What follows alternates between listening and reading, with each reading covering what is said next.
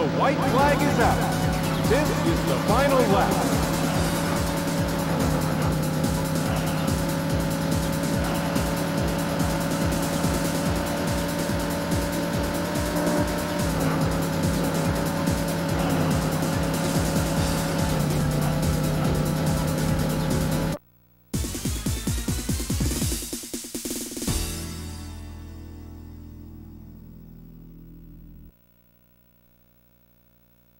You place third.